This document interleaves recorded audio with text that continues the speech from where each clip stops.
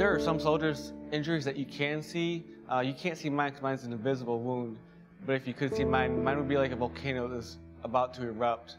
I was injured in December of 2004. It's about eight and a half years ago. Uh, we were just doing a regular combat patrol in my up armored Humvee. My vehicle was hit with two IEDs simultaneously. The shrapnel that hit me, uh, my helmet saved my life, but it also destroyed my life, being all the residual effects that I'm left with.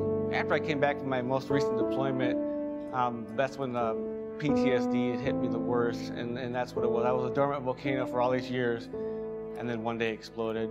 Um, I, I, couldn't sleep right, I couldn't eat right, uh, couldn't even dress myself right. I had angry outbursts, um, very irritable, really bad headaches constantly um, on a daily basis.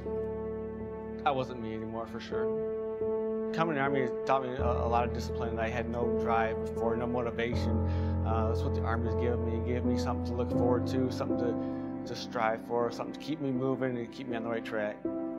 After that volcano erupted, I had nothing to look forward to. I was curled up in my own little ball, uh, pushed all of my family out of my life. I almost, you know, nearly pushed my wife and my children out for good. Luckily, my wife, you know, very, happens to be a very strong woman and uh, said, hey, you need help and helped me get the help I needed.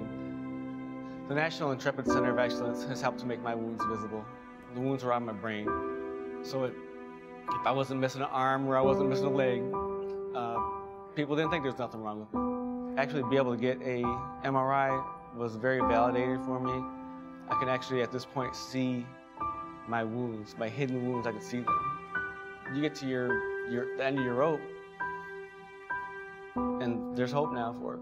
That's a good feeling, you know. You, you know, a little five-year-old can notice a difference, and then notice that, you know, notice your improvement. So it, it does. It's a really good feeling.